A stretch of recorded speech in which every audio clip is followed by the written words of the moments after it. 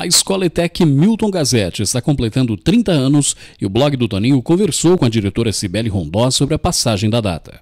Bom, Cláudia, a gente está realmente muito feliz né, pelos 30 anos em comemoração à nossa escola.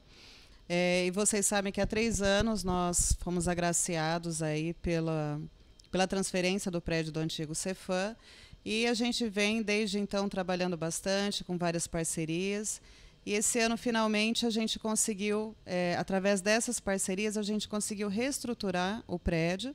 Então, a partir do ano que vem, já iniciando o ano que vem, alguns cursos a gente já vai poder começar no novo prédio do antigo Cefam. A ETEC está se preparando para mudar de local, para o prédio do antigo Cefam, de Presidente Venceslau, que passa por reformas. Abordamos o assunto com a diretora Cibé. A gente está batalhando pela, é, pela parte elétrica, né, que a gente tem que montar mais seis laboratórios de informática. Então a gente já está correndo atrás através do pregão, fazer licitação para a gente conseguir todo essa, esse implemento na parte elétrica. A partir do momento que a gente conseguir montar todos esses laboratórios de informática, aí nós vamos conseguir levar todos os alunos de uma única, né, de uma única vez lá para o prédio. O momento da ITEC é de inscrições para o vestibulinho e a escola faz publicidade sobre o assunto. Então, as inscrições já estão abertas, né, desde o dia 17 e vai até o dia 18 de novembro, até as 15 horas do dia 18 de novembro.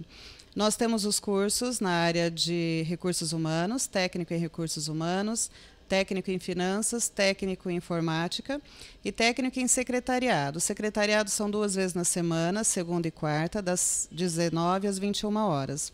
E na área do ensino médio, nós estamos é, com cursos abertos na área do ensino médio regular, informática para internet integrada ao ensino médio e agropecuária integrada ao ensino médio.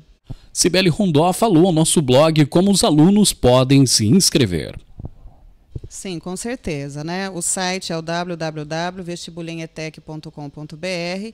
Quem tiver algum problema, a gente tem aqui computador disponível, a pessoa pode imprimir o boleto para fazer o pagamento, sem problema nenhum.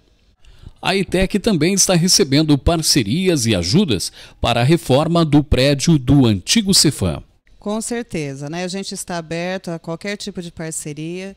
É, se as pessoas puderem fazer doação, é, lata de tinta, lâmpada, se quiser adotar um jardim, o que a comunidade puder nos ajudar, nós estamos aceitando, né, de coração. Eu acho que a comunidade nesse momento tem sim que abraçar a causa, porque é uma escola de qualidade e nós vamos poder, poder oferecer muito mais qualidade para a nossa comunidade, para os nossos alunos. Então, o que as pessoas puderem nos ajudar, por favor, a gente está aqui para aceitar.